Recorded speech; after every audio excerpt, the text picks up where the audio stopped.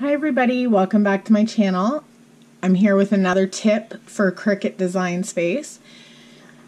So you have cursive writing and I made this mistake so many times when I first started using the Cricut Design Space. I would just print it out like this. And I would always wonder why when you go and pick the font, sometimes they seem to be attached, but then when you type them out, they're not. So I'm going to show you how to connect them and make them print out or cut out, sorry, all in one piece.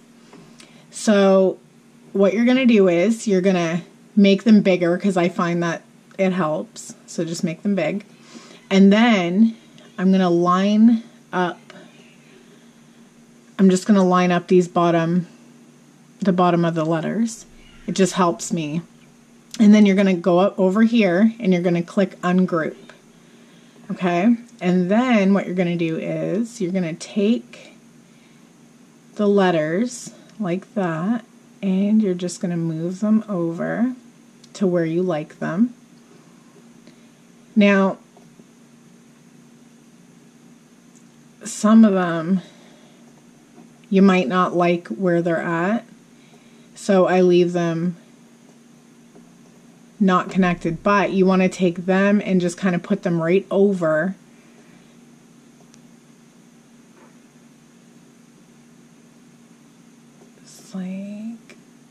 that. And then just keep doing that with all your letters. Move that a little closer until you get what you like. If you're going to connect them, make sure they're going right over top.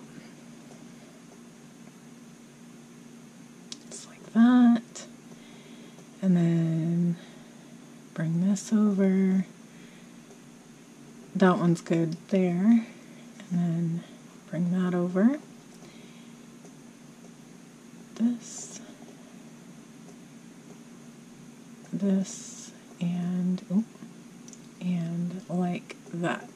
Okay, so now I like it the way it is, but if I click make it, it's still going to be all separated.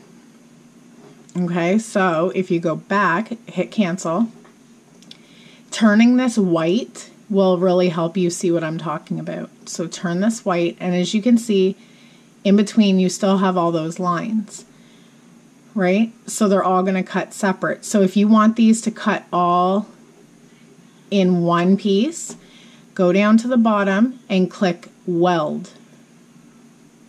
Okay, so now as you can see, all those little lines are now gone.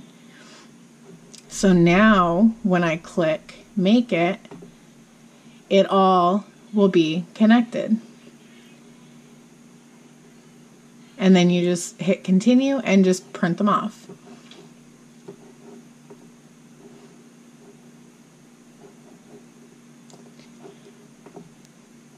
You get a way better look this way. So I again, I hope this video has helped you. Hope you enjoyed it. Thanks for watching.